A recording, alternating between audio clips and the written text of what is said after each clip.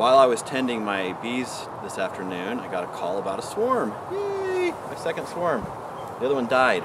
Uh, it's in there. I don't know if you can see it on camera, but it's they're attached to the trunk inside this hemlock. I can see it.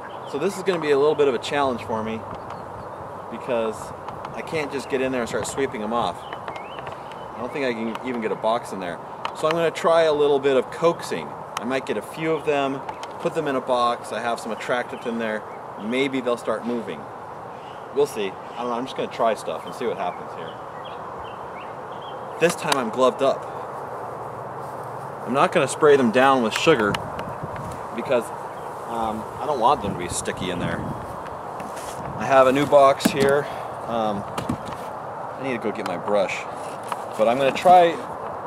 Uh, there was a suggestion on YouTube to put a stick or something in the box, something for them to cluster to. It's a great suggestion. Last time they kept clustering in the corners of the box, it was hard to get them out. But if they could cluster to the stick, then uh, I can just lift the stick out.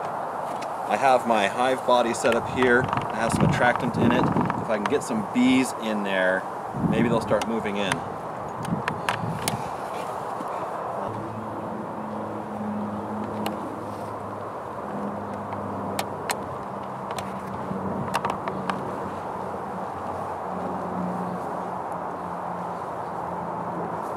So you're not doing try to get out of the box. N- I can't get the box in there, so I'm going to try just moving the brush inside their cluster here and see if they'll attach to the brush. And then I can just gently shake them off into the box. Ah, try the other way.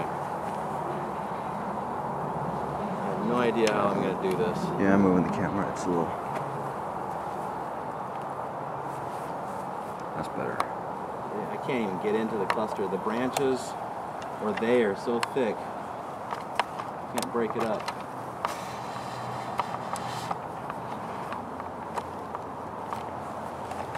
What's interesting is the other swarm I caught was just a few blocks from here. So somebody in this area has a bunch of bees that are swarming a lot.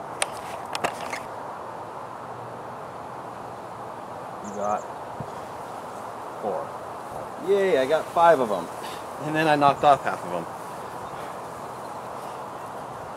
Very gently.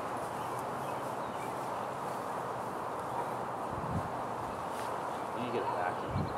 Yeah. Vacuum would be helpful. Is there anything bad about using a vacuum? E-vac. Um, no, not really. If you have the right kind of setup so you don't kill them vacuuming.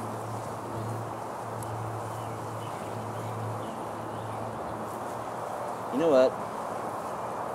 I could clip off some of these little, little things. Should have grabbed the pruning shears.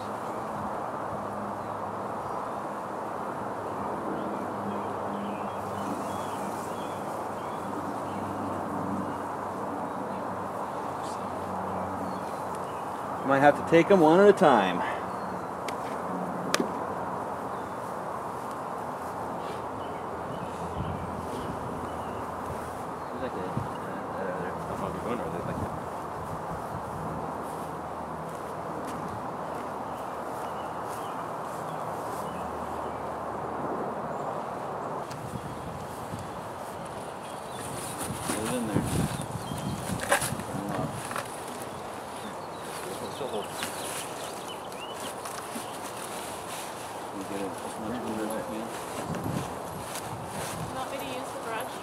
for you? No, I can't really brush there. You might want to stand back and get position. really in the air. Ready? Keep going. Keep going. That's where all. I, I can see that. I can see on the other side. I can see through the tree. Oh yeah, that's what we're Holy cow. Right on top of the camera. There's still a, a group I got it. here. They're regrouping. Yeah, of course they will. Yeah, they'll do that. The queen's Yeah. scent is still there. Okay. Yeah. I'm gonna slide this back a little bit. They're all moving in one direction again. I think. I think we got. Wait, what are they doing? Huge mass migration in there. They're going to the top, is what they're doing. So I'm gonna make a top here. Not necessarily. I see them going all over the place. I see them going in one direction, down, all towards one spot. They're all acting all weird. They're all clinging to the sides of the walls right now. So we shook as much as we could off of the tree. It took about four or five uh, going back and forth, filling the box up, shaking the tree really violently, letting them fall in the box. That seemed to be the easiest way and, and the most successful thing. Uh, dumping them into the uh, hive body here and then going back for more. Um, we think we may have got the queen now because there's a lot of activity in the air. Things seem to be moving towards the hive body. And we see them clustering in the back corner. So looks like we're good to go. We just got to wait it out, let them settle down in the hive body.